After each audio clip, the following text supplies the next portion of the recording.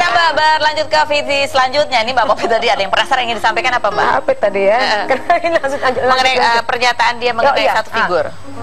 Tadi sempat disampaikan adalah em, jadi ada sebuah statement dia tidak mengenal ayah daripada Hmm. Mirna. eh, Jessica tidak mengenal ayah dari Mirna gitu kan. Tapi dia mengenal keluarganya Hmm. gitu loh.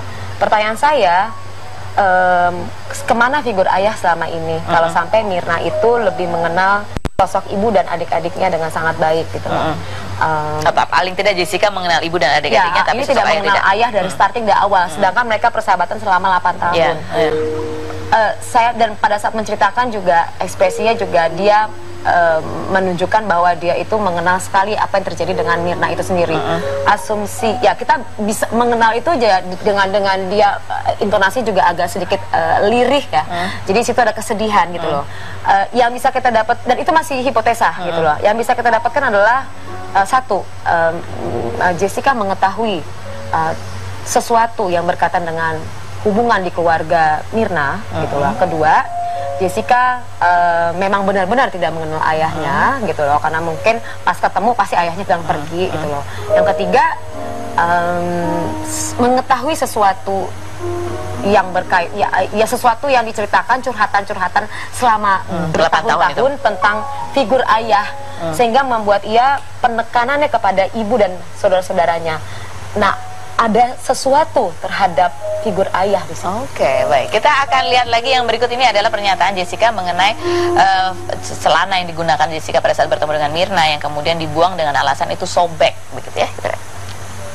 Jessica ini juga ada satu eh, eh, yang dipertanyakan begitu oleh pihak kepolisian ketika eh, celana jeans yang Anda gunakan ini akhirnya eh, dikatakan Anda buang.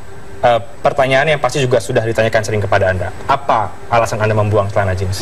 Alasan saya itu bukan celana jeans ya, jadi celananya tuh kainnya Oke, ada- celana begitu ya? Ada unik. Oke, Se- tadi juga disebutkan apa yang ingin disampaikan kepada keluarganya, lagi-lagi hanya menyebut kepada sosok ibu dan saudara-saudaranya. kita mungkin akan akan bikin urutannya seperti ini ya.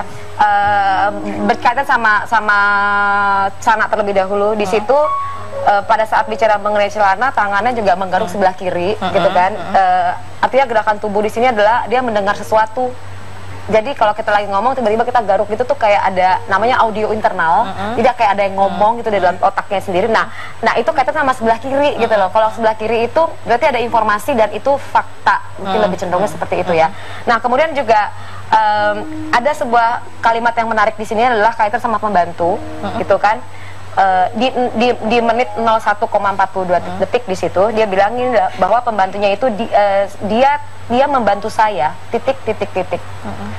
Ma- em, kemudian maksud saya mengasih saya masukan kemudian maksud saya artinya dia ada sebuah statement dikoreksi eh, eh, dikoreksi dengan kalimat lagi mengasih lagi. Pertama adalah membantu membantu kedua mengasih. Mengasih. Heeh. gitu loh. Meng- mengasih saya masukan gitu. Jadi artinya em, ting- nanti tinggal kita mengkolek aja membantu itu memang eh, satu hipotesanya adalah membantu ya pembantu pembantu adalah membantu gitu membantu kedua adalah bisa diasumsikan adalah membantu Apa dalam kejadian konteks itu? ya gitu artinya dalam waktu itu, itu. Hmm. hilang gitu kan membantu kemudian memberikan eh, mengasih Ngasih. masukan mengasih itu artinya mungkin dia memberi selama ini Hmm. melayani sebagai pembantu mengasih juga masukan bahwa ini robek gitu Hmm. kan mengasih juga masukan untuk dibuang ya. Hmm. tinggal nanti dikonsider aja di probing aja karena kita nggak bisa menjustifikasi. Hmm.